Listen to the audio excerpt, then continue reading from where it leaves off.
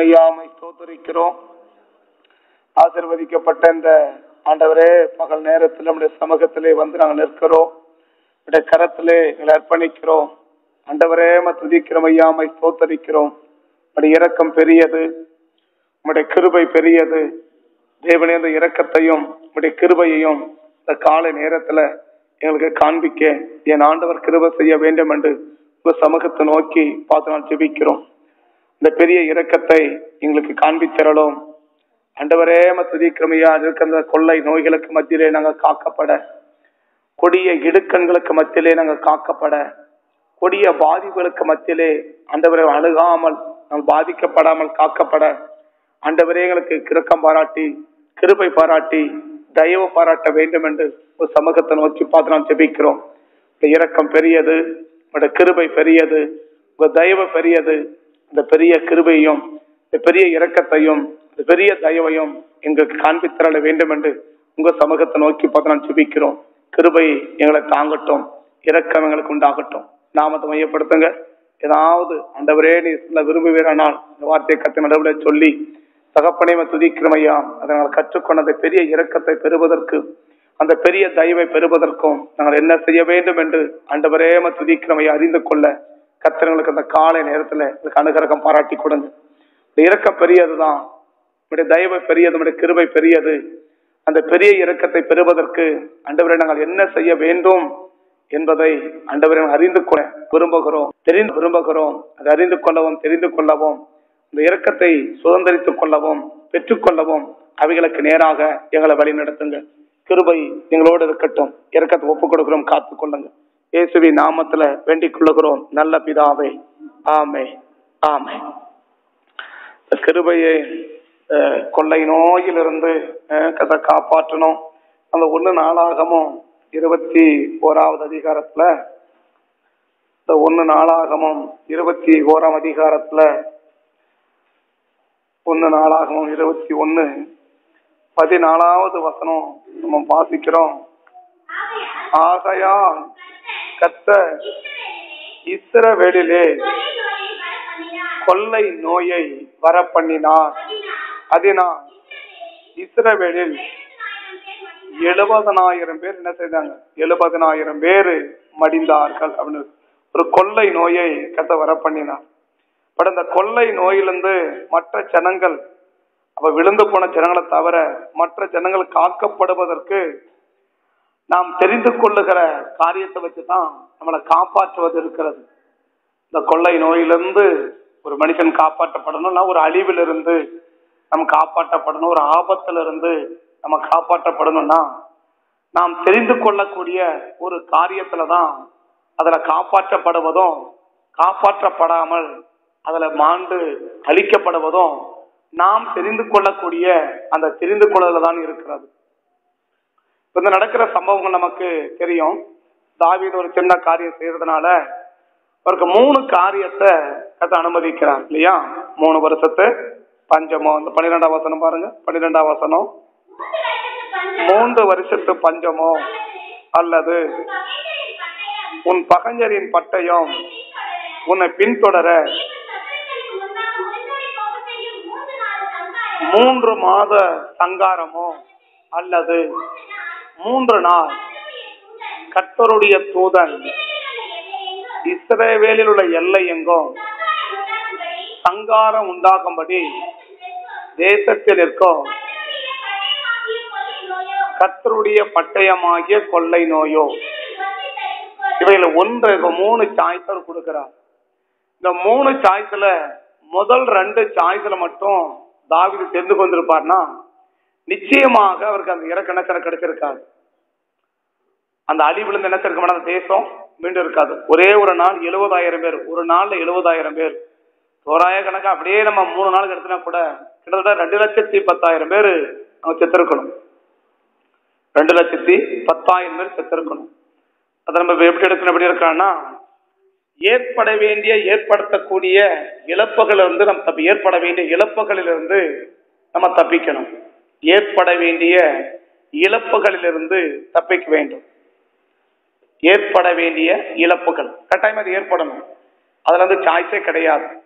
கட்டாயமா அது என்ன செய்யணும்? ஏற்படும் ஏற்பட வேண்டிய இழப்புகளிலிருந்து நாம் தப்பிக்க.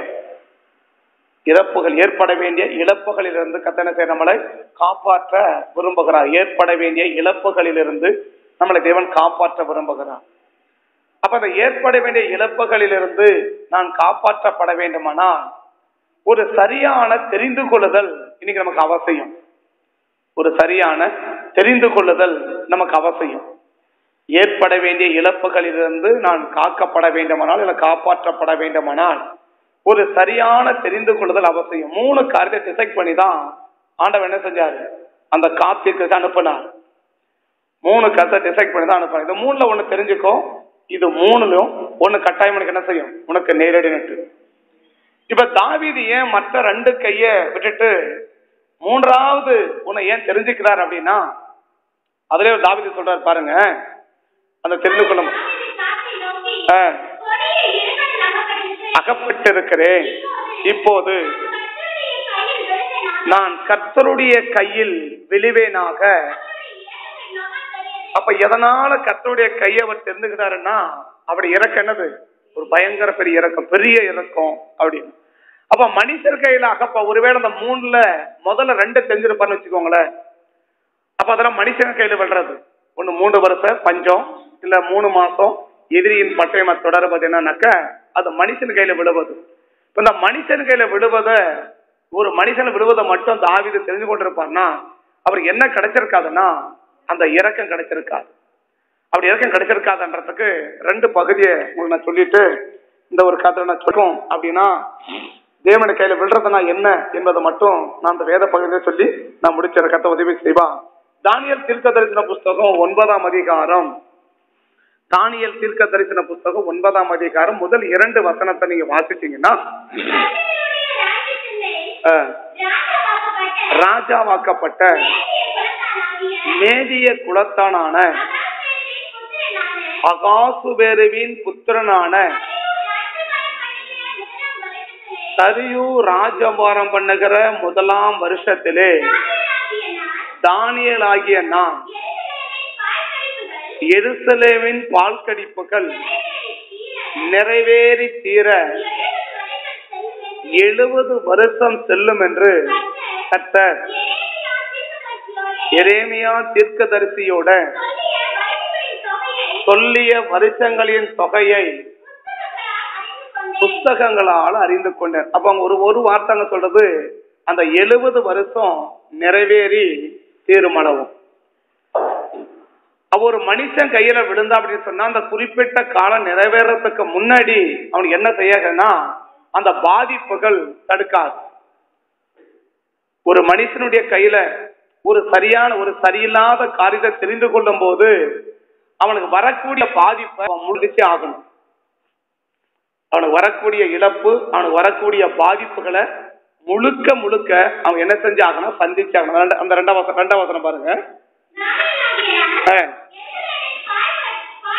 எருசலேமின் பால் கடிப்புகள் நிறைவேறி தீர. எழுபது வருஷம் செல்லும் என்று கத்த அப்ப இந்த எழுபது வருஷத்துல ஒரே ஒரு நாள் கூட குறையாது.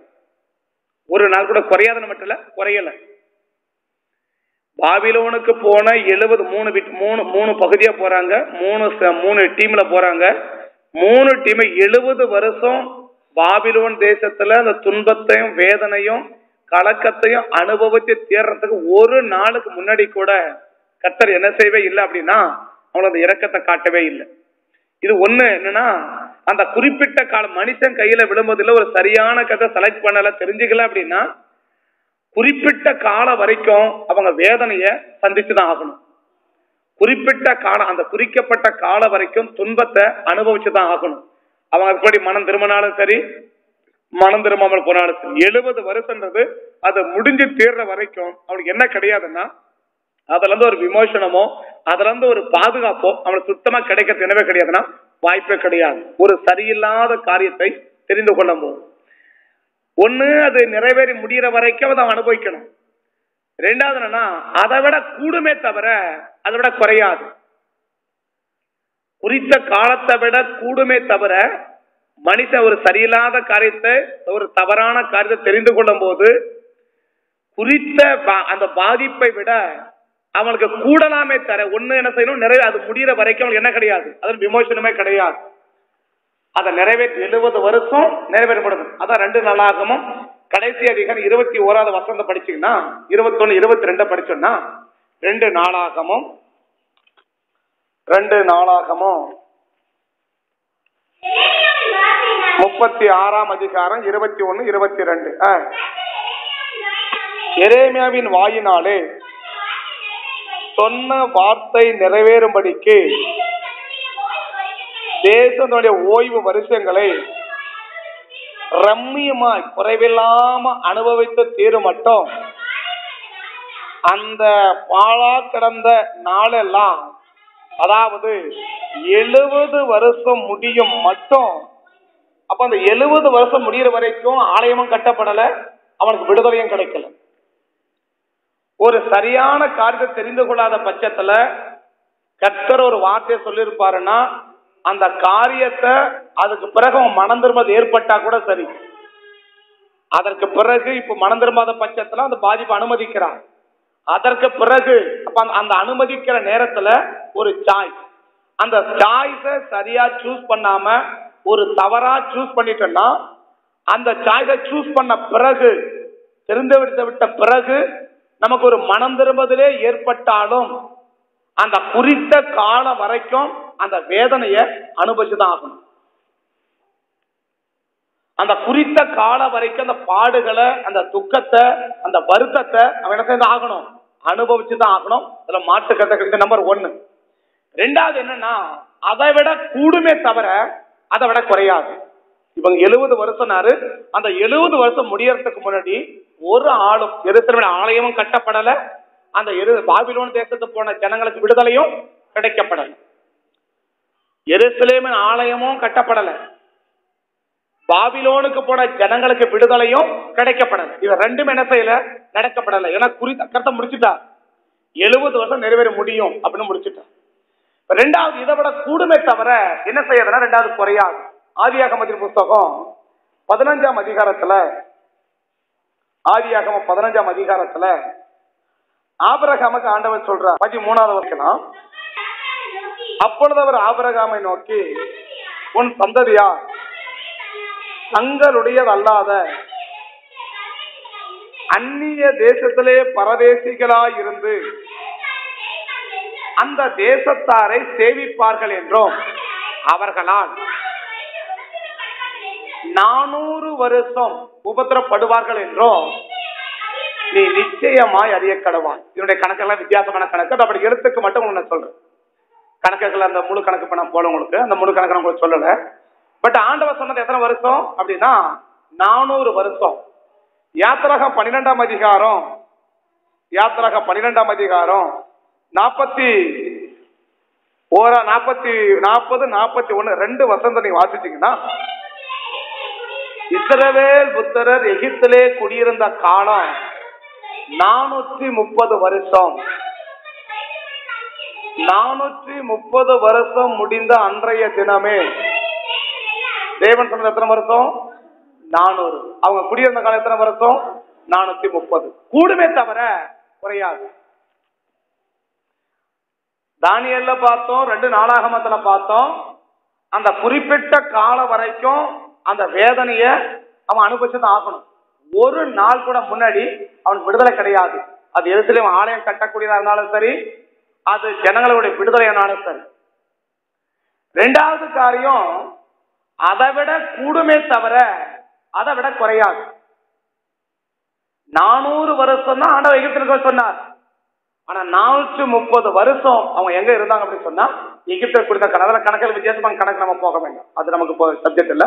பட் ஆனா இப்ப குறித்த காலத்தை விட கூடிச்சே தவிர முப்பது வருஷம் கூடிச்சே தவிர ஒரு நாள் கூட என்ன செய்யலனாக்க அந்த நானூறுல ஒரு நாள் கூட குறையல. நானூறு வருஷம் சொன்னாரு ஒரு வருஷம் கூட குறையல ஒரு மாசம் கூட குறையல ஒரு நாள் கூட என்ன செய்யல குறையல. நானூத்தி முப்பது வருஷம் முடிந்த அன்றைய தினம். முடிஞ்ச பிறகுதான் அவங்க துவங்கினாங்களே தவிர அதுக்கு முன்னாடி அவங்க என்ன செய்யவில்லைனாக்க அவங்க துவங்கவே இல்லை. அப்ப ஒண்ணு ஒரு தேவனுடைய பிள்ளைகளுக்கு வர வேண்டிய அந்த அழிவிலிருந்து அந்த ஆபத்திலிருந்து இருந்து வரவேண்டிய கட்டாயம் வரும் அது. பட் அந்த வர வேண்டிய ஆபத்திலிருந்து நாம் காக்கப்பட வேண்டுமானால் ஒரு சரியான தெரிந்து கொள்ளுதல் நமக்கு அவசியம். இப்ப இந்த மூணு நாள் கொள்ளை நோய் தாவீதுக்கு குறிக்கப்பட்டவன் செலக்ட் பண்ணிட்டான். இல்லையா? மூணு வருஷம் பஞ்சம். மூணு மாதம் இதனுடைய பட்டையுடைய சங்காரம் மூணு நாள் கொள்ளை நோய். ரெண்டு மனிதனுடைய கையில இருந்து விழுகிறது. ஒண்ணு தேவனுடைய கரத்துல இருந்து வருகிறது. ரெண்டு எங்கிருந்து வருது? மனிதனுடைய கரத்துல இருந்து வரக்கூடிய பாதிப்புகள். இல்ல மனிதனால வரக்கூடிய பாதிப்புகள் இரண்டு. மூணு வருஷம் பஞ்சம் மூணு மாதம் பட்டயம். இது ரெண்டுமே மனிதனால வரக்கூடிய பாதிப்பு. மூன்றாவது ஒன்று செலக்ட் பண்றாரு. மூணு நாள் கொள்ளை நோய். இது தேவனால வரக்கூடிய பாதிப்பு So, ஒரு பாதிப்பு வருது அப்படின்னு சொல்லும் போது அப்ப தாவிது ஏன் மற்ற ரெண்டையும் செலக்ட் பண்ணல அப்படின்னா அவர் தெரிஞ்சு போச்சு இந்த ரெண்டையும் நான் ஒருவேளை ஒண்ணுல செலக்ட் பண்ணிட்டான் இது அனுபவிச்சு தீருகிற வரைக்கும் ஒரு நாள் கூட என்ன செய்ய முடியாது. நான் முன்னாடி விடுவிக்கப்படவே முடியாது. இந்த பாதிப்புல இருந்து தப்பிக்கவே நான் முடியாது. இத ரெண்டு மனுஷன் கையில நான் விழுந்துட்டேன் அப்படின்னா ஒரு செலக்ட் பண்ணிட்டேன். இல்ல ஒரு மனிதனை நான் செலக்ட் பண்ணிட்டேன். ஒரு மனிதனுடைய காரியத்தை நான் செலக்ட் பண்ணிட்டேன் அப்படின்னு சொன்னா ஒண்ணு என்னுடைய வேதனை காலம் முடிகிற வரைக்கும் முடியறதுக்கு முன்னாடி ஒரு நாள் கூட முன்னாடி நான் விடுவிக்கப்பட முடியாது.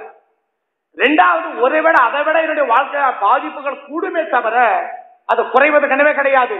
வாய்ப்புகளே இல்லை என்பதை யார் புரிந்து கொண்டார் அப்படின்னா தாவீது புரிந்து கொண்டார்.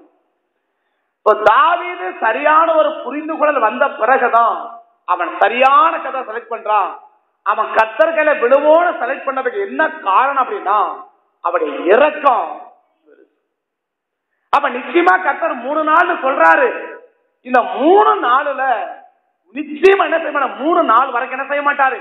இந்த பாதிப்பை விடமாட்டா எனக்கு ஏசையான ஒரு வசனம் இருக்கு.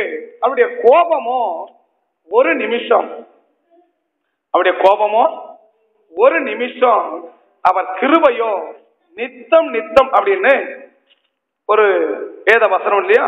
அவருடைய கோபமோ ஒரு நிமிஷம் அவருடைய இரக்கமோ நித்தம் நித்தம் அப்படின்னு ஏசையாவில் ஒரு வசனம் உண்டு. அதோடைய ஐம்பத்தி நாலில் பாருங்க. ஐம்பத்தி நாலில் கூட ஐம்பத்தி நாலில் ஏழு எட்டு ரெண்டு பாருங்க.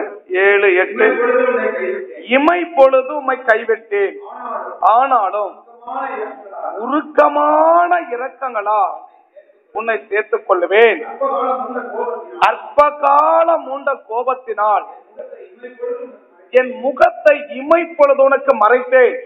ஆனாலும் நித்திய கிருபையுடன் இமை பொழுது அவருடைய கோபம் எவ்வளவு நேரம்? அப்படின்னா அது எவ்வளவு நேரம்? இமை பொழுது மறைக்கிறேன்றான் இமை பொழுது உன்னை என்ன செஞ்ச கைவிட்ட இமை பொழுது. ஒரு- இமை அப்படி மூடி திறக்கிற நேரம் நான் கைவிட்டேன். ஆனாலும் உருக்கமான இறக்க என்ன செஞ்சுறேன்? உன்னை சேர்த்துக்கொண்டு அடுத்த சொல்ற அற்ப காலம் உண்ட கோபத்தினால் என் முகத்தை இமை பொழுது என்ன செஞ்சேன்? என் முகத்தை இமை பொழுது என்ன செஞ்சேன்? உனக்கு மறைச்சேன் இமை பொழுது உனக்கு மறைச்சேன் ஆனா எத்தனாம் வசனம் ஆ சங்கீதம் முப்பது அஞ்சு ஆ. அவருடைய கோபம் ஒரு நிமிஷம்.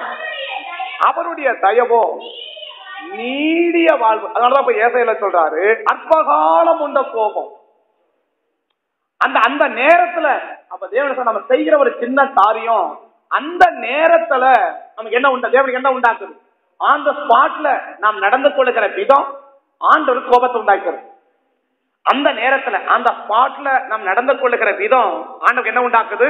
ஒரு கோபத்தை உண்டாக்குது அந்த கோபத்தினால ஒரு செகண்ட் ஒரு வினாடி என்ன செய்யறார் ஒரு வினாடி விட குறைவன் நம்ம சொல்லணும். இமை பொழுது. ஒரு வினாடினா நம்ம கண்ணை மூடி திறக்கிற நேரம் ஒரு ஒரு வினாடி இல்லை. ஒரு வினாடிக்கு இருக்கு. அப்போ ஒரு இமை பொழுது அந்த கண்ணை மூடி திறக்கிற நேரம் அவன் என்ன செஞ்ச கைவிட்ட ஆனா உருக்கமான இறக்கங்களை அவன் என்ன செய்யல? அப்ப எந்த காரியம் அந்த நம்ம செய்கிற அந்த காரியம் எந்த காரியம் ஆண்டவருக்கு இமைப்பொழுதுல கோபத்தை உண்டாக்குது? நாம் செய்கிற எந்த காரியம் இப்ப தாவீதுக்கு மூணு நாள் இல்லையா? ஆனா அந்த ஒரே நாள்ல கிட்டத்தட்ட ஒரே நாள் கூட சொல்ல முடியாது. அது காலையில மத்தியானம் அது கணக்கு பண்ணி பார்த்தா மத்தியானம் வரைக்கும் தான் அது இருக்குது. சாயங்காலம் கூட போகல. காலையில இருந்து மத்தியானம் வரைக்கும் தான் அந்த கோபம் என்ன செய்யுது? அந்த இருபதாயிரம் பேர் செத்தது ஒரு நாள் முழுசும் இல்லை. காலையில இருந்து மத்தியானம் வரைக்கும் தான். அது அவர் இமை பொழுது நம்ம எடுத்துக்கலாமே. அப்ப எந்த கா- அற்ப பொழுது கொண்ட கோபம்ன்றார எந்த காரியம் ஆண்டவருக்கு நம்ம செஞ்சா உடனே கோபம் வரும்? நாம் செய்யறது எந்த காரியம் ஆண்டவருக்கு உடனே கோபம் உடனே அந்த நாள் என்ன செய்ய விரும்புறாரு? தண்டிக்க விரும்புறாரு. அந்த தண்டனைய முழுசா நிறைவேற்றாம அது என்ன செய்ய விரும்புறாரு? பாதியிலே நிறுத்த விரும்புறான் அதாவது இரக்கம். எவ்வளவு பெருசுனா அது பயங்கரமான பெருசு. அப்ப எந்த நாம் செய்கிற எந்த காரியம் ஆண்டவருக்கு உடனே கோபத்தை உண்டாக்குது அப்படின்னு அதே அந்த ஒண்ணு நாளாகமத்துக்கு நீங்க பாத்தீங்கன்னா அந்த ஒண்ணு நாளாக இருபத்தி ஓராம் அதிகாரத்துல நீங்க வந்தீங்கன்னா ஒரு சொல்லும் போது அதை கேட்காம போற பத்தியா அது ஆண்டவர்கள் மிகப்பெரிய கோபத்தை உண்டாக்குது. ஒருத்தர் சொல்லும் போது அந்த காரியத்தை நம்ம காது கொடுத்து கேட்காத போயிட்டோம் இல்ல அந்த காரியத்துக்கு நம்ம செவி கொடுக்காத போயிட்டோம்னா உடனே ஆண்டவர் கோவம் வருது. உடனே ஆண்டவர் கோவம் வருது. இப்ப அந்த ஒண்ணு படிச்சிருவாங்க பாக்க வேகமா படிச்சிருவாங்க பாக்க எழும்பி. தாவிதை ஏவி விட்டது அப்படியே தாவிது யோவாபையும் வேர்வைக்காரரையும் நோக்கி நீங்கள் போய் பெயர் செபா தொடங்கி ஆண் மட்டும் இருக்கிற இசரவிலரை எண்ணி அந்த லக்கத்தின் தொகையை நான் அறியும்படிக்கு என்னிடத்தில் கொண்டு வாருங்கள் என்றார். அப்பொழுது யோவா கத்தருடைய ஜனங்கள் இப்பொழுது இருப்பதை பார்க்கிறோம் நூறத்தனையால் அவர்களை வர்த்திக்க பண்ணுவாராக. ஆனாலும் ராஜாவாக என் ஆண்டவன் அவ எல்லாரும் சேவகர்கள் அல்லவா? ஆண்டவனை இதை விசாரிப்பானேன். விசாரிப்பானேன். இஸ்ரவேலின் மேல் குற்றம் உண்டாக. இப்ப என்ன சொல்றாரு? நீங்க செய்யறது ஒரு பெரிய பாதிப்பை ஏற்படுத்துறது தப்புன்றாரு. எந்த காரியம் ஆண்டவருக்கு நம்ம செய்யறது உடனே கோபத்தை உண்டாக்கும் அப்படின்னு கேட்டீங்கன்னா இந்த வேத பகுதியில் கவனிக்கிறதுக்காக. அந்த அந்த வேத பகுதி அந்த காரியம். பட் இந்த இடத்துக்கு உடனே ஏன் ஆண்ட கோபம் வந்துச்சுன்னா சாத்தான் ஏவி விட்ட போது அவனுக்கு கோபம் வரல. அப்படின்னா காத்தை எப்ப அனுப்பியிருக்கணும்? அப்படின்னா சாத்தான் ஏவி விடும் போது அனுப்பியிருக்கணும். சாத்தான் ஏவும் போது ஆண்டவர் யாரும் அனுப்பல? தீர்க்கதரிசி அனுப்பல. எப்ப அனுப்புறாருன்னு சொன்னா இப்ப யோவாப் சொல்றா யோவா கூட தாவி சொல்றான் நீ போய் எண்ணி பார்த்துட்டு அவன் சொல்றான் இப்ப நீ செய்யறது தப்பு. அவன் கிளியரா சொல்றான் இந்த- இந்த- இந்த இஸ்ரவேலின் மேல் குற்றம் உண்டாக இது நடக்க வேண்டியதுன்றான். இது தப்புன்றான். இத தவறுன்னு சொல்லும் போது அதை மனப்பூர்வமா ஏற்றுக்கொள்ள மனதில்லாத ஒரு நபர் நான் நினைச்சத செய்வேன். அப்படின்னு நீங்க செய்வீங்கன்னா அது தேவனுக்கு உடனே கோபத்தை உண்டாகும் அற்பகாலம் உண்ட கோபம். உடனே. இது அப்படிதான் வந்துச்சேன்னா இது அறிஞர் இன்னொரு வயது பதிவோட படிங்க. இப்ப ஆதியம் பதினஞ்சு படிச்சீங்க இல்லையா? அந்த பதினஞ்சு கூட வாங்க. அந்த ப- ஆதியம் பதினஞ்சு கூட வாங்க. ஆதியம் பதினஞ்சு கூட வாங்க. அங்க நடக்க சம்பவத்தையும் கொஞ்சம் நீங்க கவனிச்சீங்கன்னா உங்களுக்கு அது இன்னும் வழங்கறதுக்கு ஏதுவாக இருக்கும். எட்டுல இருந்து கொஞ்சம் கடற்கரை படிச்சவங்க பார்க்கலாம். எட்டாம் பதினஞ்சு எட்டுல இருந்து. அதற்கு அவன் ஆண்டவரே. அறிவேன் என்ற அதற்கு அவர் மூன்று வயது கிடாரி வெள்ளாட்டை காட்டுக்கடாவையும் புறாவையும் இன்னிடத்தில் கொண்டு வா என்றார். அவர் அவரது எல்லாவற்றையும் கொண்டு வந்தான். துண்டித்து துண்டங்களை ஒன்றுக்கொண்டு எதிராக வைத்தான். பட்சிக்கவில்லை அவன் என்ன செய்வன? துண்டிக்கவில்லை. வட- பறவைகள் அது உடல் மேல் இறங்கின. இப்ப எல்லாத்தையும் துண்டிச்ச ஆளு எதை துண்டிக்க போயிட்டாரு? பறவைகளை துண்டிக்காம போயிட்டார் உடனே அடுத்த வசனம். அடுத்த வசனம். சூரியன் அஸ்தமிக்கும் போது. நித்திரை வந்தது. திகிலும் காரில் மூடிக்கொண்டது. எப்பொழுது? எப்ப பச்சை துண்டிக்கல அப்பொழுது. ஆன் த ஸ்பாட்ல செய்யற ஒரு காரியம் தேவனுக்கு கோபத்தை உண்டாக்கி. அது என்ன காரியம் அப்படின்னு சொன்னீங்கன்னா சொல்றத செய்யாம போறது. ஒண்ணு சொல்றாங்க அப்படின்னா அதை காது கொடுத்து அதை வாங்கி அதன்படி நீ செய்யாம போனா ஆன் த ஸ்பாட்ல ஆண்டவருக்கு என்ன உண்டாக்குனா கோபம் உண்டாகும். அவர் கோபம் தான் சொல்றாரு. என்ன சொல்றாரு? திகிலும் காரியலும் இவ்வளவு என்ன பேசினாரு? எடுக்கும்போது எடுத்த வாசம் எடுத்த வாசம் எடுக்க எடுக்கும்போது என்ன சொல்றாரு? ஆபரகாம நீ பயப்படாத. நான் உனக்கு கேடகமா இருக்கிறேன். அப்படி கேடகமா இருக்கிற பெரிய வாக்குதெல்லாம் சொல்லி வந்தவன் கீழே முடிக்கவே சொல்றாரு. அவனுக்கு திகழும் காரிலும் அவனை மூடிக்கொண்டு எல்லாத்தையும் துண்டிச்சவன் எதை துண்டிக்கல? பறவைகளை துண்டிக்கல. துண்டிக்க கூடாதுன்னு பின்னாடி வர பிரமாணங்கள். ஆனா இப்ப தேவனுக்கு சொன்ன பிரமாணத்தை சொல்லல. அப்ப இதை துண்டிச்சவன் அது என்ன செய்வே இல்லை? துண்டிக்கவே இல்லை. அவ துண்டிக்காத போன ஒரு செயல் ஒரு சின்ன காரியம். அத என்ன சொல்றேன்னா இப்ப தாவீதுக்கு மேல வருது கோபம். சாத்தான் ஏவும் போது தாவீது மேல ஆண்டவர் கோபம் வரல. சாத்தான் தாவிதை தூண்டும் போது தாவிதுக்கு மேல கோபம் வரல. அவன் செய்ய சொல்லும் போது அது தாண்டவருக்கு தாவியோட கோபம் வரல. எப்போ கோபம் வந்துச்சு அப்படி இருக்குன்னா இப்ப யோகம் சொல்றா நீங்க செய்யறது தப்பு. இது செஞ்சாக்க மேல கோபம் வரும். இது குற்றம் உண்டாகும். அப்படின்னு சொல்லி இது தப்புன்னு ஒருவர் சொல்லியும் அதுக்கு செவி கொடுக்காம அதை அப்படியே செய்து முடிக்கவே நீ செஞ்சனா உனக்கு மேல எனக்கு மேல தேவனுடைய கோபம் வரும். இப்ப யோகா சொல்றாரு இது என்ன செய்யுது இப்படி செய்வது இஸ்ரவேல் மேல என்ன உண்டாகும்? இது தப்புன்ற. இது செஞ்சீங்கன்னா தப்பு. இது செய்யக்கூடாது. இப்படி செஞ்சாக்க இது தப்புன்னு சொல்லும் போது அத தாவிது என்ன செய்யலனாக்க அவன் காது கொடுத்தத கேட்கல. அடுத்த வசனம் சொல்றாரு சொல்லியும் யோவா அப்படி சொல்லியும். அதை எப்படி எடுத்துக்கலாம் நம்ம யோவா அப்படி அவனுக்கு சொல்லியும். கணவன் மனைவிக்கு அப்படி சொல்லியும். இந்த மனைவி கணவனுக்கு அப்படி சொல்லியும். ஊழியக்கார விசுவாசிக்கு சொல்லியும். சொல்லியும் என்ன அர்த்தம்?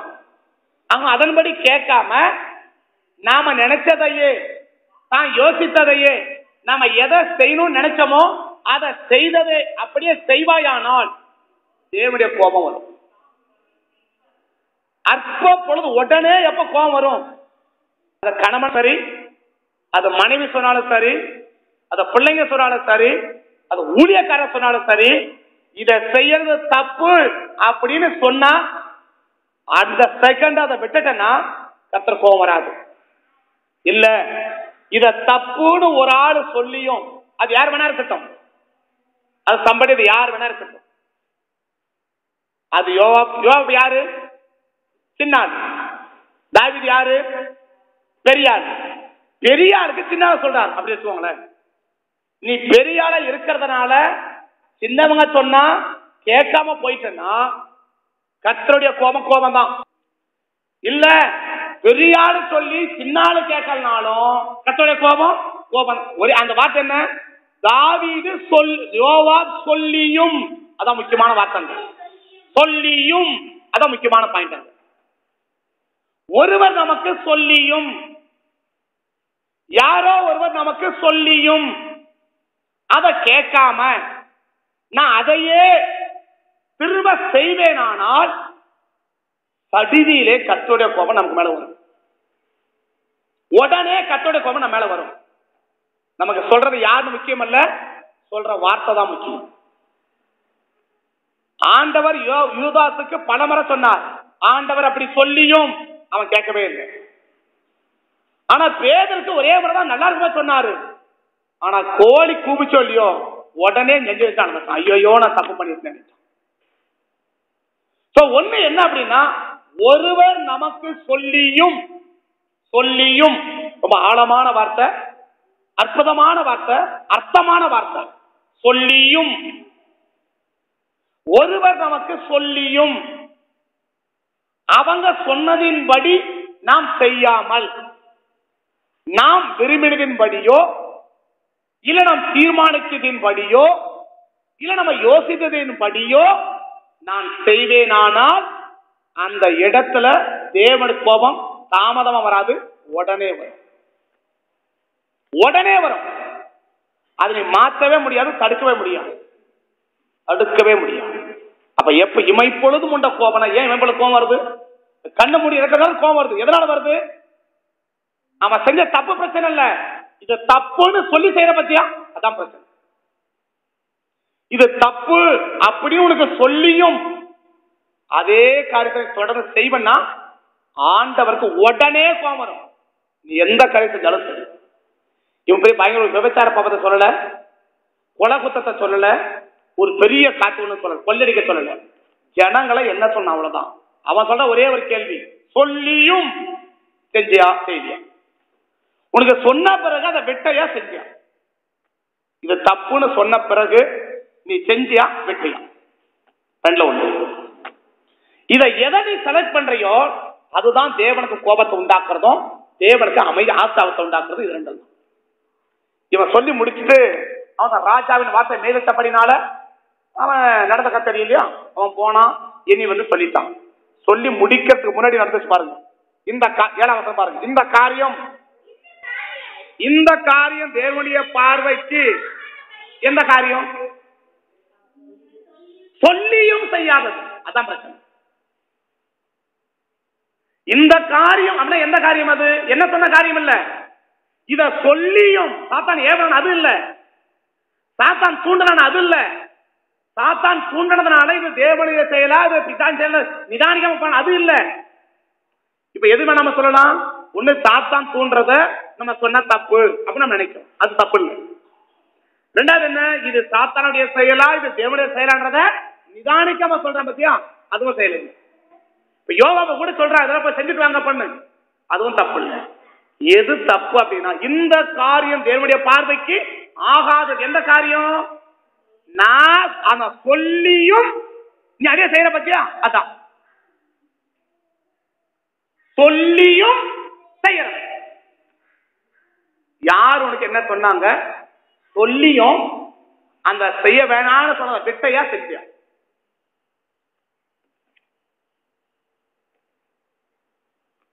உனக்கு செய்ய வேணாம்னு சொன்னதை செஞ்சே விட்டையா சொல்லியும் சொல்றதுக்கு முன்னாடி நீ எவ்வளவு பேர் தப்பு பண்ணாலும் சத்தவனை கேட்கல. அது தேவன கோபத்தை உண்டாக்காது. ஏன்னா உனக்கு சொல்லல? உனக்கு தெரியாது. பட் உனக்கு சொல்லியும் உனக்கு சொல்லியும் இதை செய்யக்கூடாதுன்னு சொல்லியும் இத போக்கூடாது சொல்லியும் இதை வாங்கக்கூடாதுன்னு சொல்லியும் இதை விற்கக்கூடாது சொல்லியும் சொல்லியும் அதை நீங்க எதுக்கு வேணா எடுத்துக்கோங்க. எப்படி வேணா எடுத்துக்கோங்க. பட் உங்களுக்கு யார சொன்னது? சொன்னத வெட்டைகளை செஞ்சீங்க. ஒரே ஒரு கேள்விதான். இந்த காரியம் தேவனுடைய பார்வைக்கு ஆகாததா போயிடுச்சு. இது சொல்லியும் உனக்கு சொல்லி எனக்கு சொல்லலாம் பரவாயில்ல. இப்ப யார் இதை ஏவ சொல்றது உனக்கு தெரியல. ரைட் ஓகே செஞ்சுட்டேன். இப்ப யோகா சொல்ற இல்லங்க இது செஞ்ச தப்பு. இது செய்யக்கூடாது. அப்ப தாவீது யோவா மூலமா தாவீதுக்கு பேசுறார். அவ தாவீது மூலம் யோவா மூலமா தாவீதுக்கு அடுத்தார் பேசுறத அவ சொல்லியும் அவன் என்ன செய்ய போயிட்டானா அதுக்கு அவன் செவி கொடுக்காத போயிட்டான். இந்த காரியம் தேவனுடைய பார்வைக்கு ஆகாதது. ஆனபடியா இஸ்ரவேலை பாதிச்சார். செலக்ட் பண்றதெல்லாம் பின்னாடி தான் வாதம் எங்க ஆரம்பிச்சிருச்சு? கத்தோட இருதயத்துல ஆரம்பிச்சிருச்சு. இந்த காரியம் தேவனுடைய பார்வையில் ஆகாததானபடியால் இஸ்ரவேலை பாதித்தார் எதனால பாதிக்கிறாரு இப்போ? அப்ப ஏன் நமக்கு வாத திடீர்னு வருது? நம்மளை ஏன் பாதிக்கிறாரு ஏன் திடீர்னு ஆபத்து வருது? ஏன் திடீர்னு பிரச்சனை வருது? ஏன் திடீர்னு போராட்டம் வருது? எங்கேயோ யாரோ சொன்ன ஒன்ன நம்ம செய்யாம போகும். எப்படி வேணாலும் சொல்லலாம் எதுக்கு வேணாலும் சொல்லலாம் என்ன வேணாலும் சொல்லலாம். ஒரே கேள்வி சொன்னதை செஞ்சியா விட்டையா முடியாதோட அதோட உனக்கு சொன்னதை விட்டையா செஞ்சியா செய்யன்றதை செய்யாம விட்டாலும் ஆகாது. செய்ய வேணான்றத நீ செஞ்சாலும் அது தேவனுடைய பார்வைக்கு ஆகாது. செய்யின்னு சொல்றத நீ செய்யாம விட்டாலும் தேவனுடைய பார்வைக்கு அது ஆகாது. செய்ய வேணான்றத நீ செஞ்சாலும் அது தேவனுடைய பார்வைக்கு ஆகாது. இது ரெண்டு நடக்கும்போது என்ன உண்டாகும்னா வாதை பங்கு உண்டாகும் இஸ்ரவேலை கத்தர் வாதிச்சார். பிசாசு வாதிக்கல. பிசாசை தூண்டி விட்டதுனாலயும் வாதிக்கல. அவர் தெரியும் பிசாதான் தூண்டி விட்டான். சரி விடு அப்படின்னு. ஆனா சம்பவம் என்ன அப்படின்னா சொல்லியும் செஞ்ச அப்ப நம்ம சொல்றது எதுக்காக தான் வாதையில இருந்து தப்பிக்க வைக்கிறதுக்காக தான் பின்னாடி நடக்க போற வாதம் உனக்கு தெரியாது. பின்னாடி வரைய போற பாதிப்பு உனக்கு தெரியாது. பின்னாடி நடக்க போற ஆபத்து உனக்கு தெரியாது. அந்த ஆபத்துல இருந்து உன்னை காப்பாத்துறதுக்கு தான் கத்த முன்னாடி ஒரு ஆள் சொல்றாரு. அப்ப நான் சொல்ற ஆள்றத நீ கேட்ட அப்படின்னா வாதை வந்து தப்பிச்சிடலாம் அப்படி இல்லை அப்படின்னா வாதை வந்துதான் ஆகும். இந்த வாதைக்கு தான் கத்த மூணு கதை செய்யறாரு செலக்ட் பண்ண வைக்கிறார். அப்ப எந்த காரியம் தேவன கோபத்தை உண்டாக்கும்? உடனே கோபத்தை உண்டாக்கும்? சொல்லியும் செய்யணும். சொல்லியும் செய்யற ஒரு காரியம் இமை பொழுது என்ன உண்டாக்கும்? கோபத்தை உண்டாக்கும். அப்ப தேவ கோபம் இமை பொழுது நம்ம மேல மூடாம இருக்கணும்னா நம்ம சத்துரோட ஏவப்படலாம் சத்துருவோட தூண்டப்படலாம் மாம்சத்துல தூண்டப்படலாம் அதனால செயல்படலாம். அதை ஆண்டவர் கணக்குல வைக்கல. மாறாக மாம்சத்தினாலேயோ இல்ல மனிதர்களால் உலகத்தினாலேயோ தூண்டப்பட்டு நாம் செய்கிறதை சம்படி யாரோ ஒருவர் வந்து இது தவறு செய்ய வேணாம் அப்படின்னு சொன்ன பிறகும் நீ அதை செஞ்சனா கட்டாயம் கோபம். கட்டாய கோபம். அந்த கோபத்துல இருந்து தப்பிக்கிறதுக்கு தான் இப்ப தாவிக்கு மூணு சான்ஸ கொடுத்தான். தாவி என்ன கொடுத்தாரு? மூணு சான்ஸ கொடுத்தான். ஒண்ணு என்ன சான்ஸ கொடுத்தார்? மூணு வருஷம். ரெண்டாவது என்ன கொடுத்தா மூணு மாசம் எதிரின் பட்டயம் சங்காரம் மூணு நாளுக்கு பட்டயம் மற்ற ரெண்டும் மனுஷனால வரக்கூடியது. அப்ப மனுஷன் கையினால வரக்கூடியதை தேர்ந்தெடுத்திருந்தா சரி மூணு வருஷம் பஞ்சம். பசியோ பண்ணி வாழ்ந்தெல்லாம் விடுப்பான் சாகிறத என்ன செய்யலாம்? பசியோ வாழ்ந்தெல்லாம் விடுப்பான் அப்படின்னு அவன் செலக்ட் பண்ணிருப்பான்னா மூணு வருஷம் அவன் பஞ்சத்தை அனுபவிச்சு ஆயிருக்கணும். சரி மூணு மாசம். எதிரி என்ன செய்யலாம்? முடிக்கிற நாம என்ன பண்ணலாம்? கொஞ்சம் போராடி எது தடுக்கலாம்பா? அப்படின்னு எதிரியே சங்கடத்துட்டு இருந்தானாலும் மூணு மாசம் கட்டாயம் போராடி ஆயிருக்கணும். ஆனா அவன் சொல்றான் இல்ல இல்ல. இவங்க கையிலலாம் விழுந்தோம்னா ஒண்ணு அந்த குறிப்பிட்ட நாள் வரைக்கும் அந்த வேதனையை நான் அனுபவிச்சு ஆகும் ரெண்டாவது இதை விட எனக்கு கூடலாமே தவிர குறையாது. அதனால நான் என்ன செய்ய மாட்டேன்னா இத ரெண்டையும் விட்டுட்டு நான் கத்தருடைய கையில விழுறேன். ஏன்னா அவர் இறக்கம் பெருசு. என்னுடைய கணிப்புப்படி அந்த எழுபதாயிரம் பேரும் காலையில இருந்து மத்தியானத்துக்குள்ளதான் காலையில சாயங்காலம் வரைக்கும் கூட போல காலையில இருந்து மத்தியானத்து வரைக்கும் தான் இதுக்கு அதுக்கு நிறைய விளக்கம் சொல்ல முடியும் பட் அதெல்லாம் நான் விளக்கம் ரொம்ப நேரம் உங்களுக்கு விளக்கம் சொல்லணும். நிறைய காரியங்கள் விளக்கம் அந்த அந்த அதிகாரத்தில் இருக்குது பட் அதெல்லாம் நான் விளக்க முடியாது. அது நிறைய அது ஒரு நாள் வரைக்கும் போனது அது நிறைய காரியங்கள் அது அங்க போக முடியும். ஒரு நாள் விளங்கிக்கோங்க. காலையில இருந்து ம- அது கோபம் எவ்வளோ நேரம்? இமை பொழுது. அப்படி கோபம் இமை பொழுது. அற்பகாலம் உண்ட கோபத்தை அந்த நேரத்துல நீ செஞ்ச காரியத்தினால அவர் கோபம் வந்துச்சு. அவன் இமை பொழுது உன்னை கைவிட்டான். இமை பொழுது கைவிட்டாலே எழுபதாயிரம் பேர் அவுட்டு கண்ண மூடி துறக்கத்துக்குள்ள எழுபதாயிரம் பேர் அவுட்டு இமை பொழுதும் உண்ட கோபத்தினால. இன்னைக்கு வாதைகளும் பிரச்சனைகளும் போராட்டம் ஏன் இன்னைக்கு நம்ம பாதிக்குதுன்னா கத்தருக்கு கோபத்தை உண்டாக்கக்கூடிய ஏதோ ஒரு செயல் நம்ம செய்யணும். எது கோபத்தை உண்டாக்கும்? நீ செய்யற செயல் அல்ல சொல்லியும் நீ செய்யணும். அப்ப நமக்கு யார் சொல்றாங்க? என்ன சொல்றாங்கன்றத நான் கவனிச்சு பார்த்து நிதானிச்சு பார்த்து எதை வேணான்னு சொல்றாங்க அதை விட்டுட்டோம்னாக்க வாதிப்பு எனக்கு வராது. அப்ப வாதிப்பு சரீரத்துல வாதிப்பு. சரீர பலவீனம் சரீர போராட்டம் சரீர பிரச்சனைகள். இப்படிப்பட்ட வாதிப்பு நமக்கு இது வராம இருக்கணும்னா ஒண்ணு புரிஞ்சுக்கோ சொல்றத செஞ்சிருக்கு அது மட்டும் எவ்வளவு நீ செஞ்சுட்டு இருக்கு. ஆனா எதை வேணான்னு சொல்ல விட்டுடு. எதை செய்யும் செஞ்சிருக்கு உனக்கு சொல்றத நீ செஞ்சுட்டனா வாதையில இருந்து நீ தப்பிச்சிடலாம். பாதிப்புல இருந்து தப்பிச்சிடலாம். பாதிப்புனா நமக்கு புரியாது. எப்படி சொல்றது? தொடர்ந்து கஷ்டப்பட்டுனே இருக்கிறது. தொடர்ந்து கஷ்டப்பட்டுட்டே இருக்கிறது. தொடர்ச்சியான கஷ்டம். ஒரே காலையில தொடர்ந்து கஷ்டப்பட்டுனே இருக்கிறது. அந்த வாதையில இருந்து அந்த பிரச்சனை விடுவிக்கப்படணும்னா ஒண்ணு செய். உனக்கு என்ன சொல்றாங்களோ அதை செஞ்சு. வேணும்னா விட்டுரு. செய் நான் செஞ்சு. அதுக்கு முன்னாடி வேணாலும் சொல்றதுக்கு முன்னாடி செய்யணும் சொல்றதுக்கு முன்னாடி பல கதை செஞ்சிருக்கலாம். பல கதை பண்ணியிருக்கலாம் அதெல்லாம் கத்த கேட்கவே இல்லை. கத்த கண்டுக்கவே இல்லை ஒண்ணு உனக்கு சொல்லியும் நீ சொன்ன பிறகு செஞ்ச விஷயம் இது ரெண்டு தான் கேள்வி. அப்ப சொல்லியும் நம்ம செய்யாம போயிட்டோம்னா சொல்றத நம்ம செய்யாம போயிட்டோம்னா தேவனுக்கு நம்ம மேல என்ன உண்டாகும்? கோபம் வரும். அந்த இமைப்பொழுது வர்ற கோபம் ஒரு இமைப்பொழுதுல எழுபதாயிரம் ரூபாய் செத்து அப்ப கர்த்தர் கையில விழுந்ததுனால அவன் என்ன கிடைச்சனாக்க ஒரு பெரிய இறக்கம் கிடைச்சிச்சு. அந்த கர்த்தர் கையில விழுறதுனா என்ன அர்த்தம் அப்படின்னா அடுத்த வருஷம் படிங்க பார்க்கலாம். அகப்பட்டிருக்கிறேன். விழுவேனாக. அவளை இறக்கம் மகா பெரியது. மனிதோட கையில விடாதிருப்பேனாக என்றார். அது பதினஞ்சுல இருந்து. எருசலேமை அழிக்க அனுப்பினார் ஆனாலும் அவன் அழிக்கையில் இந்த நல்ல வார்த்தை கவனிங்க. அவன் அழிக்கையில் கர்த்தர் பார்த்து அந்த தீங்குக்கு மனஸ்தாபப்பட்டு சங்கரிக்கிற தூதனை நோக்கி போதும். இப்ப இப்ப- இப்ப அந்த வார்த்தை ஆ, அவங்க அந்த அந்த அழிக்கையில் அப்படியா? அழிக்கையில். தொடங்குற அப்பதான். அந்த தூதனை கொலை இப்பதான் ஸ்டார்ட் ஆயிருக்கு. ஸ்டார்ட் ஆன உடனே கத்த மறைவிக்கிட்டார்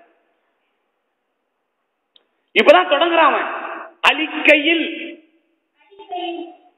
இப்பதான் ஸ்டார்ட் பண்றான். இப்பதான் காரியம் நடந்துட்டு இருக்குது. உடனே கத்த என்ன செஞ்சார்னா மனம் ஏன் மனம் இறங்கினார் அப்படின்னா அவன் சொன்ன கத்தோட கையில் விடுவேன்னு சொன்னா இல்லையா? அந்த கத்தரோட விழுவேன்றது என்ன அடையாளம்? என்ன அர்த்தம் அப்படின்னா அடுத்த வருஷம் பாருங்க. அதே அதே அதே வருஷத்தோட படிச்சு வந்து பக்கம் முடிச்சுட்டு அடுத்த வருஷம் படி. அது அடுத்த வருஷம் தாவி தன் கண்களை ஏறெடுத்து ஏறெடுத்து. தூதன்.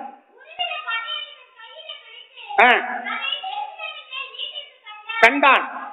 அப்பொழுது தாவீது மூப்பர்களும் ரெட்டு போட்டிக் கொண்டு முகங்குப்புற விழுந்தார்கள். தாவித தேவனை நோக்கி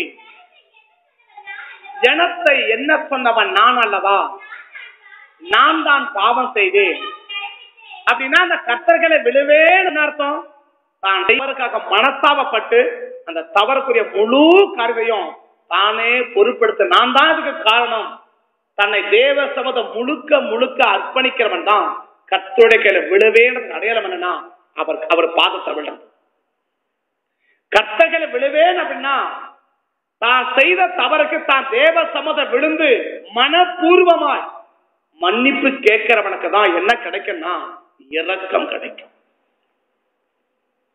இமை பொழுதும் உண்ட கோபத்துல நான் கைவிட்டேன் அதனால ஒரு பெரிய வாதை உண்டாச்சு.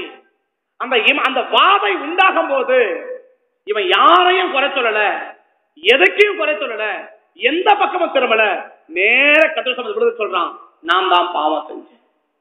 தன்னை முழுவதுமா தேவ சமூகத்துல அர்ப்பணிக்கிற மனுஷன் தான்.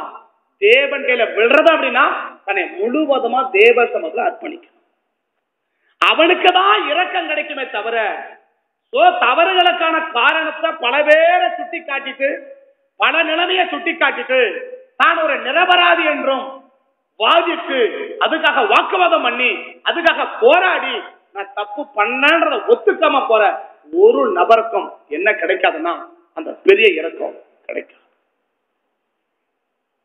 எனக்கு அந்த பெரிய இறக்கம் கிடைக்கணும்னா இன்னைக்கு தேவை நாம் செய்யற தவறுக்கு மனப்பூர்வமாய்.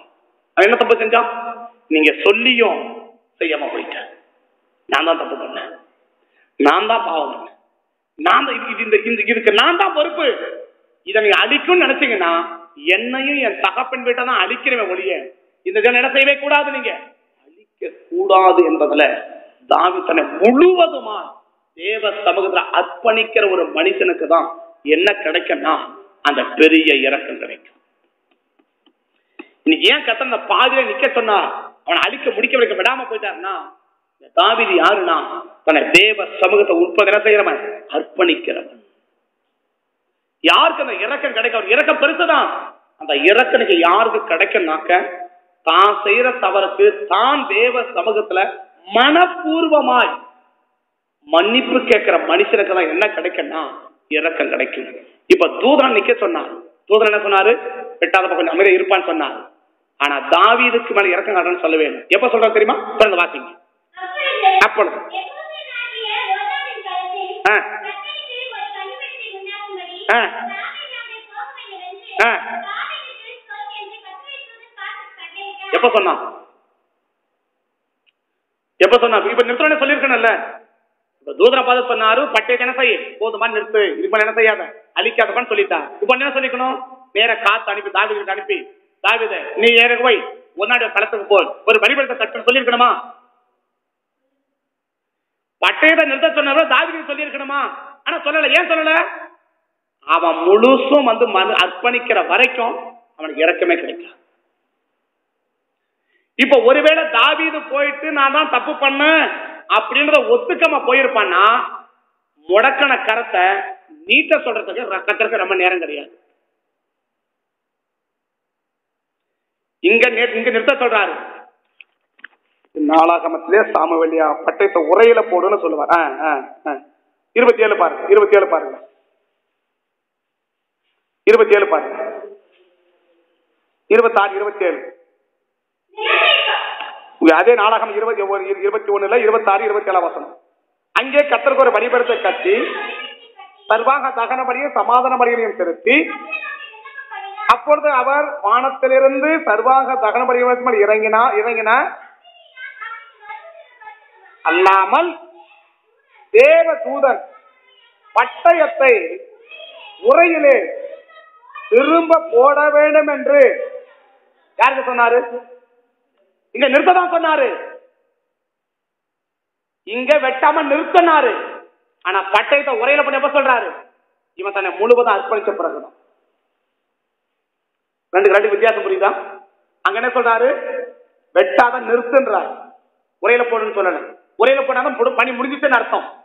உரையில போட சொல்லல. நிறுத்துன்றவரு தொடங்க சொல்ல ரொம்ப நேரம் கிடையாது.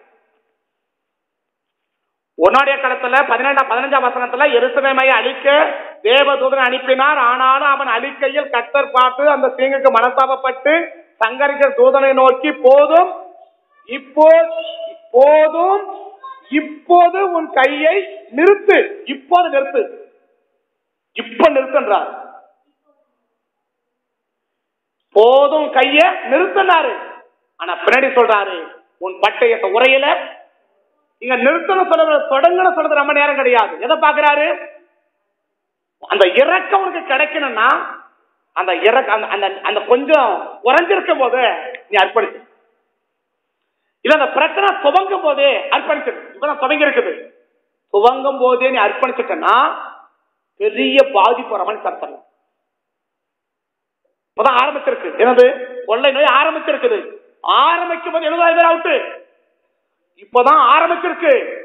அழிக்கையில் ஆரம்பிச்சிருக்கு. இந்த அழிக்கும் போதே கத்த மன நிப்பாட்டி வச்சிருக்கிறாரு. அழிக்க ஆரம்பிக்கும் போதே நீ அர்ப்பணிக்க ஆரம்பிச்சுட்டனா? அழிவு ஆரம்பிக்கும் போது நீ அர்ப்பணிக்க ஆரம்பித்து விட்டால் அழிவை தடுத்துடலாம். இல்லனா அந்த இரக்கம் கத்தர் பெரிய இறக்கம் உள்ளவர் தான் பெரிய கிருப உள்ளவர் தான் அந்த இறக்கத்தையும் கிருபையும் யாருக்கு தேவன் காண்பிக்க விரும்புறாருன்னா தம்மிடத்துல அர்ப்பணிக்கிறவனுக்குத்தான் அந்த அந்த அந்த இறக்கத்தை தேவன் என்ன விரும்புறார்? காட்ட அந்த பெரிய இறக்கம் இன்னைக்கு உனக்கு கிடைக்கணும்னா அழிவு துவங்கும் போது அர்ப்பணிக்க ஆரம்பிச்சிட்டு அழிவை நீ தடுக்க வேண்டுமானா உன் பாதிப்பை தடுக்கணும்னா வாவை ஆரம்பிக்கும் போது அழிவு ஆரம்பிக்கும் போது அர்ப்பணிக்க ஆரம்பிச்சிரு அழிவு ஆரம்பிக்க அர்ப்பணிப்பை நிறுத்தணும்னா அழிவு ஆரம்பிக்கும் அர்ப்பணிச்சு நீ ஆரம்பிச்சிட்டனா அழிவு நிற்கும். அழிவு நிக்கிறதும் அழிவு நிக்காத போறதும் யார் கையில் இருக்குன்னா நம்ம கையில் தான் இருக்கு. நிறுத்தணும் சொன்னவர் உரையில போடுன்னு சொல்லல. தாவி சொல்றா இப்ப போய் பலிபீடத்தை கட்டி கரையை காட்டு இந்த பலிபீடத்தை கட்டு. அந்த பலிபீடத்தை கட்டி அவன் அர்ப்பணிச்ச பிறகு இப்ப சொல்றாரு அவன் விண்ணப்பத்துக்கு பதில கொடுத்து கத்து தூதன சொல்றாரு உன் பட்டத்தை உரையில போடு. வேலை முடிச்சு கிளம்பு. மூணு நாள் வர வேண்டியது நான் நினைக்கிறேன் மூணு நிமிஷத்துல முடிஞ்சு போச்சு. இல்ல மூணு மணி நேரம் முடிஞ்சு போச்சு. இமை பொழுது உண்ட கோபத்துல அந்த காரியம் முடிஞ்சு போச்சு. அந்த இறக்கம் கிடைக்கணும்னா எனக்கு தேவன் எதிர்பார்க்கிறது ஒரு அர்ப்பணிப்பு. எப்ப அர்ப்பணிக்கணும்?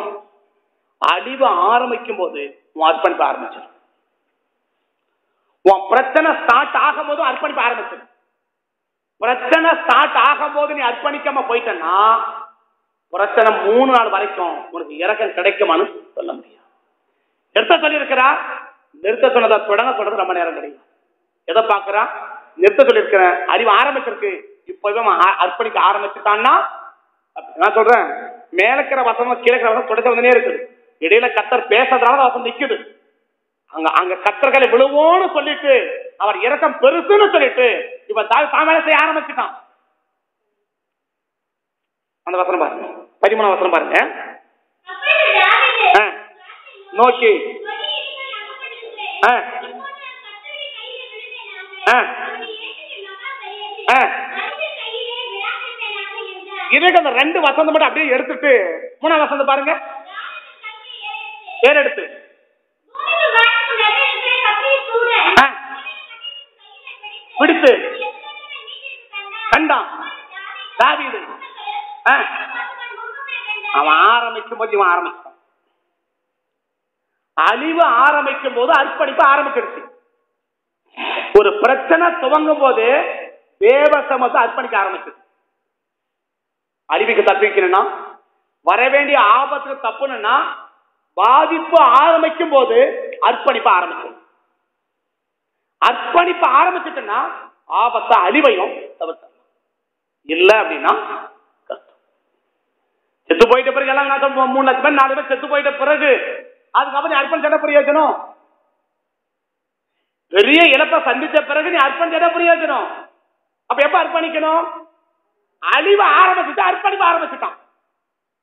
இந்த அர்ப்பணிப்பு ஆரம்பிச்சு முடிக்கும் போதுதான் கத்தத்தினாரு உரையில பட்டது போடு கிளம்ப பண்ணாரு அப்ப அழிவு தடுக்கப்படணும்னா அந்த இறக்க நமக்கு கிடைக்கணும்னாக்க இன்னைக்கு தேவை அர்ப்பணிப்ப தாமதம் இல்லாமல் செய். அழிவு ஆரம்பிக்கும் போது பாதிப்பு ஆரம்பிக்கும் போதே நீ அர்ப்பணிப்பு ஆரம்பிச்சிட்டன்னா பெரிய பாதிப்பை தவிர்த்தரலாம் இல்லை அப்படின்னா கஷ்டம். கண்களை முடவும். கத்தை நோக்கி பார்ப்போம். தகப்பனே நன்றியோட துதிக்கிறோம் ஐயா ஸ்தோத்திரம். இப்படி இறக்கம் பெரியது. உங்க கிருப பெருசு. இந்த பெரிய கிருபையும் பெரிய இறக்கமும் யாருக்கு கிடைக்கும் அப்படின்னா பெரிய இறக்கமும் பெரிய கிருபையும் யாருக்கு கிடைக்கும்னா அறிவு ஆரம்பிக்கும் போது அர்ப்பணிக்க ஆரம்பிக்கிறவனுக்கு அந்த இறக்கம் கிடைக்கும். அந்த கிருபை கிடைக்கும். ஒரு சரியான தெரிந்து கொள்ளுதல். என்ன? தேவன் கையில விழுவும். தேவன் கையில விழணும்ன்றது என் அடையாளம் கத்துடைய சமூகம் விழுந்து கதறுவது. அர்ப்பணித்து ஜெபிப்பதும் தன்னுடைய தவறுக்காக மனசாபப்படுவதும் தேவன் கையில விடுவதனுடைய அடையாளம்.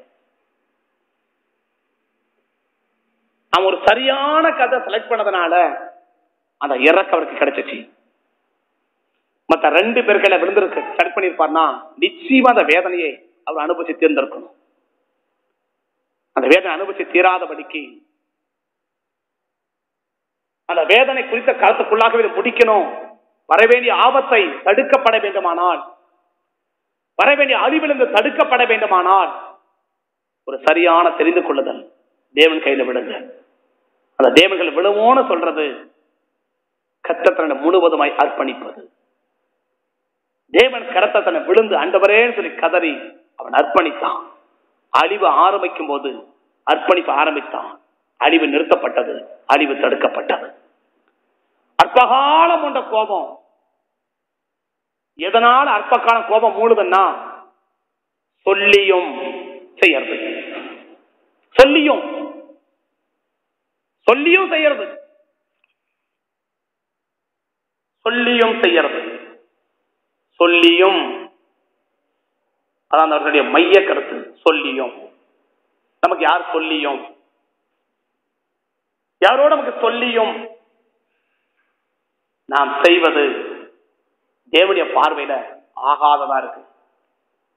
அந்த ஆகாத காரியத்தினால கத்த நம்மளை வாதிக்கலாம். வாதைகள் நம்ம சரீரத்துல வாதை குடும்பத்துல வாதை வாதையை ஆரம்பிக்கலாம். அந்த வாதையிலிருந்து நீ தப்பிக்கிறனா ஒரே வழி வாதை ஆரம்பிக்கும் போதே அர்ப்பணிக்க ஆரம்பிச்சது. அழிவு ஆரம்பிக்கும் போதே அர்ப்பணிக்க ஆரம்பிச்சது.